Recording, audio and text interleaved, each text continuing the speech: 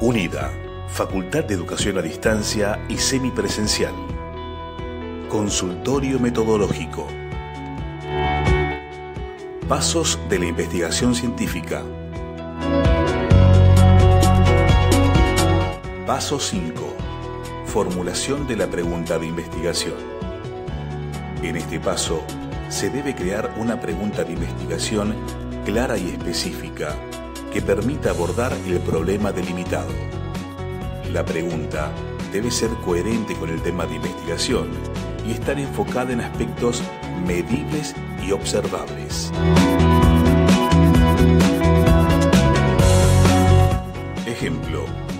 Tema. Implementación de institucionalización de sistemas de seguimiento y evaluación de la calidad educativa en la educación superior. Delimitación.